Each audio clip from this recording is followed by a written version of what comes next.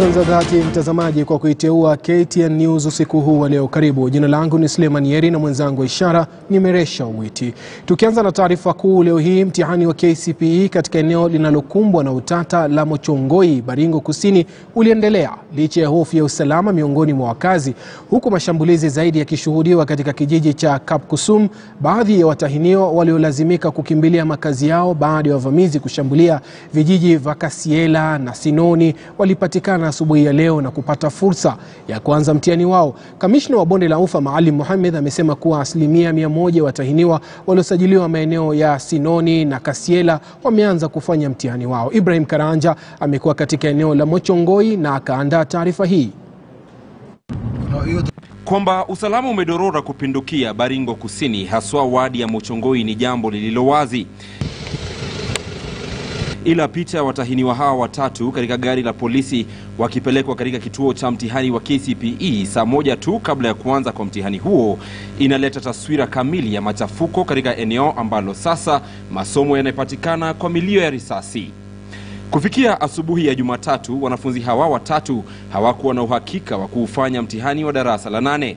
Walikuwa wamelazimika kukimbia makwao baada ya mashambulizi katika vijiji vya Kasiela na Sinoni. Kupatikana kwao kumefikisha asilimia mia moja idadi ya watahiniwa waliosajiliwa katika shule mbili za Kasiela na Sinoni. Watoto wametafutwa vilivyo, ndio sasa kufikia Jumapili wote wamepatikana. Ila saa chache baada ya mtihani huo kuanza, watu walianza kukimbia kutoka kijiji cha Kapkusum ambacho ndicho cha hivi punde zaidi kuvamiwa. Mtazamaji, wanakotoka watu hawa na mifugo hawa ambao wako hapa ni katika eneo la Kapusum. Wanasema kwamba ni eneo ambalo kwa sasa asubuhi ya leo limeshambuliwa na majangili uh, kutoka eneo hilo.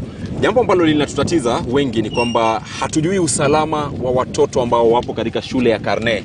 Maanake kuna shule ambayo kwa sasa mtihani wa darasa la nane unaendelea na ni shule hiyo ya Karne ambako ni wanafunzi wa Kapkechiro ambao wako hapo kwa sasa, maanake walitimuliwa kutoka Kapkechiro, wanafanya mtihani kutoka Karne, lakini ilivyo ni kwamba eneo jirani katika eneo la Kapkusum tayari watu wanafurushwa. Je, wanafunzi hawa wa Karne ambao kwa sasa wanaofanya mtihani wao wa pili wataendelea kukaa hapo? Njoo nami tuone pia na tuzungumze na hawa watu ambao wanatoroka, uh, wengi kina mama na watoto. Sisi tunaumia kama Baringo South. Nyinyi msiseme. Tuambie, tuambie. Tusikie, tusikie, tusikie ndugu. Ni- Ni shida imekuwa wapi? Mmetoka wapi? Wapi?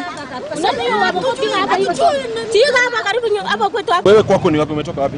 Ninatoka Kaitili hapo chini eh, ndio nimesikia wako huko mm, huko Kapkusum eh, wamechoma manyumba na ni karibu na hapo mahali naishi ni Kaitili hapo karibu shule. wamechoma saa ngapi? Saa hizi tu tumesikia tu ndio tukatoka eh, Sasa unaenda wapi sasa? si tunaenda tu tunaelekea tu mahali tunaelekea tujui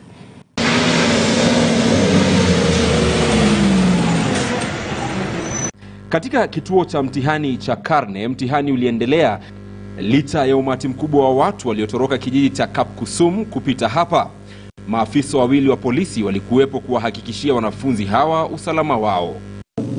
Ikiwa washikadau wale wako pale uh, sana sana Deputy County Commissioner uh, Sub County Director of Education wakishirikiana na wale officers uh, kuna labda haja ambaye mpaka sasa sijaona hiyo haja na sijapata kufahamishwa eh, hatuna eh, shida hatuna shida na hiyo uh, tutaweza kuwatafutia shule nyingine kwa, lakini kwa sasa Karne wako pale eh, labda kama kutatokea jambo la ziada basi tutajadiliana na wenzangu na tuchukue hatua za haraka.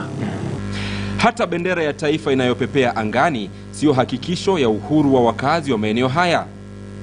Wasiwasi bado umetanda maeneo kadhaa ya Baringo Kusini. Swali wanalojiuliza wengi ni hadi lini vita hivi vitaendelea? Ibrahim Karanja, KTN News. Na jumla ya watahiniwa milioni moja nukta mbili wameanza mtihani wa kitaifa wa KCPE na kama ilivyo desturi ya miaka ya hivi majuzi, katika usimamizi wa mtihani, mawaziri, makatibu na wizara na wakuu wa idara mbalimbali za serikali wamehusika katika usimamizi wa mtihani huo, na anavyoripoti Shadrack Miti, serikali imesema kila juhudi zimefanywa kwa